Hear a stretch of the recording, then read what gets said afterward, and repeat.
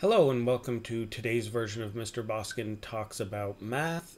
Today we are helping with Unit 7, Lesson 8, Combining Bases Practice Problems. I'm going to be working right out of the assessments view. So let's look at the first problem. The first problem says select all of the true statements. Now, there's a couple ways you could do this. You could try multiplying them out, see what you get, and compare. Or you can just work with the rules that we have been working with. The first problem here says 2 to the 8th times 2 to the 9th equals 2 to the power of 17. We know from our exponent rules when we're multiplying like bases, both of those are 2 to the power of something. We can add the exponents. 8 plus 9 is 17. So that one is true. The next one we have 8 squared times 9 squared equals 72 squared. Our new rule is if we have like exponents, those are both to the power of 2, and we're multiplying, we can multiply the bases. 8 times 9 is 72. That is also true. The next one is 8 squared times 9 squared equals 72 to the power of 4. The bases are not the same. The exponents are we would multiply the bases but not touch the exponents, so that is incorrect. The next one is 2 to the 8 times 2 to the 9 equals 4 to the power of 17. That is also not correct because if the bases are the same, we multiply the exponents but we don't touch the base.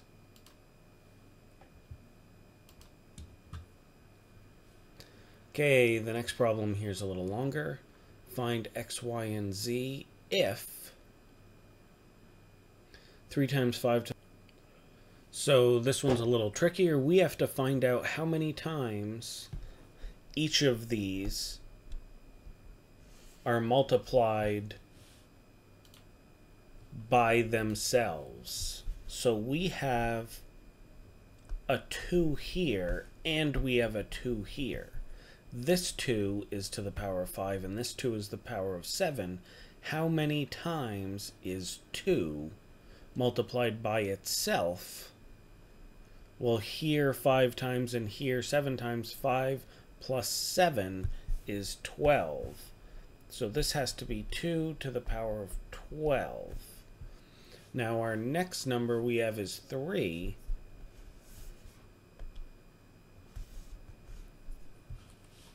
If I give 3 a new color,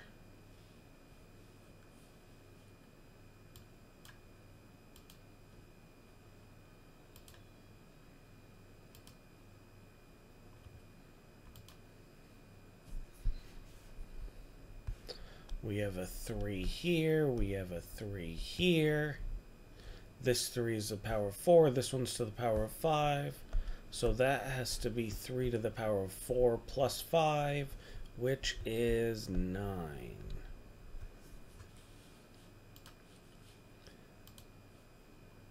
Now we need another color because we also have 5. We've got a 5 here. We've got a 5 here. 5 is multiplied by itself 4 times here, 7 times here, Add those together. 7 plus 4 is 11. Now, it wants this answer in this form. x is the power of 2, which is 12. y is the power of 3, which is 9. And 5 is the power of 11, which is z. So our answer here should be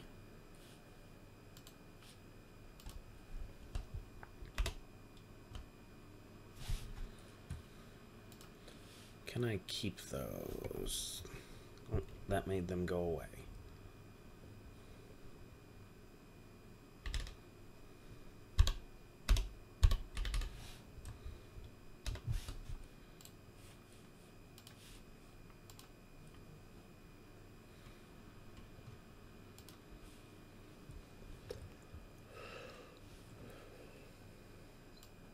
Okay, this problem's a little longer. I'll move that out of the way. So this asks us to use the same method to calculate this. Well, if I look at this, what's in these parentheses could also be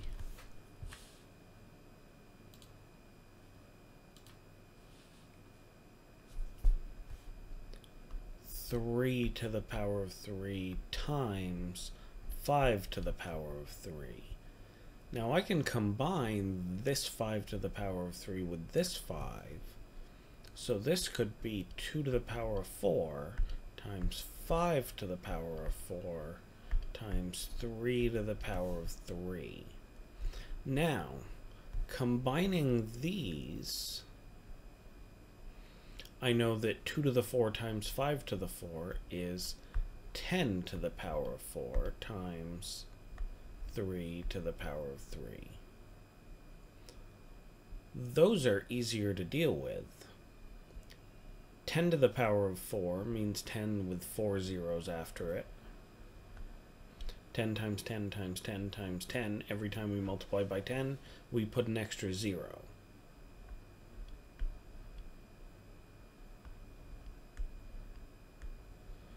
That's a 10 with four zeros after it. That's 10,000. 3 to the power of 3 means 3 times itself. 3 times. 3 times 3 is 9. Times 3 is 27. That works out to be a little bit easier math problem to do without using a calculator. 27 times 10,000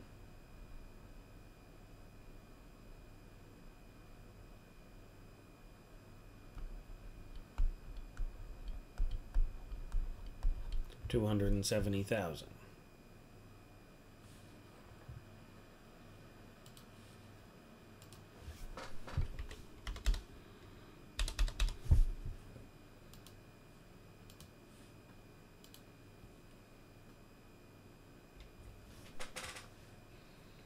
Okay, our next one we want to do the same way, but this is broken up a little bigger. So if we look at this, unpack what's in these parentheses first, and that would be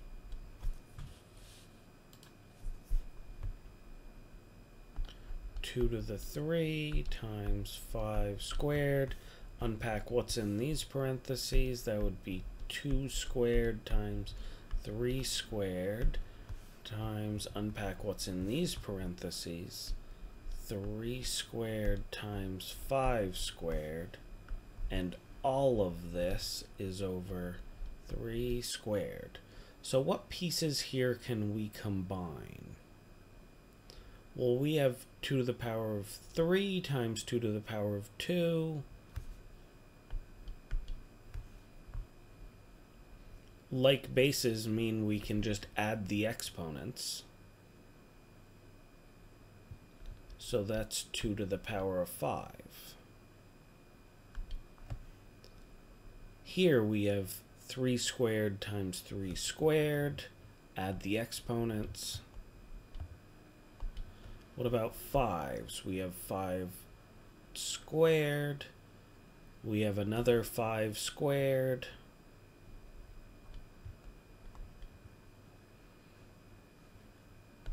All over 3 squared. Now, we can get rid of this because we know that if we're dividing, you just subtract the exponents. So then we would have 2 to the 5, 3 to the 4th over 3 squared, subtract the exponents, 4 subtract 2 is 2.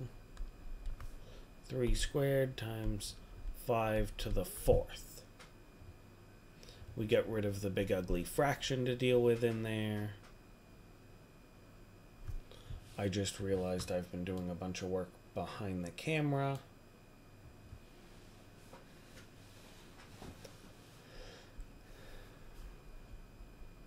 So now that we have this piece here,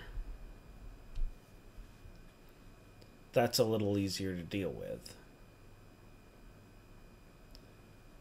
If we want to wind up with 10 to a power, we have to look at 2 times 5 gives us 10.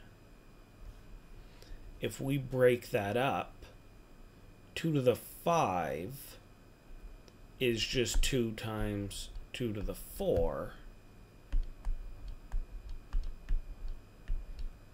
We can combine the 2 to the 4 and the 5 to the 4. So then we're left with just 2 times 3 squared times 10 to the power of 4. 3 squared is 9 times 2 is 18. So it's 18 times 10 to the 4. Which means it's 18 times a 10 with or a 1 with four zeros after